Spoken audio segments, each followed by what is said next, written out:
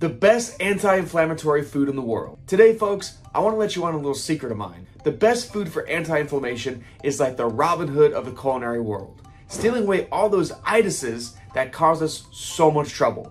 These villains are the ones that cause inflammation to go wild, making life miserable for our poor joints and guts. They include grains, alcohol, sugar, junk foods, corn, soy, seed oils, A1 milk proteins, fiber and functional fiber products, and plant protein products. Oh boy, those naughty beans, legumes, and unfermented veggies can even be troublemakers if you're dealing with inflammation and gut flora is subpar. Okay, are you ready for this?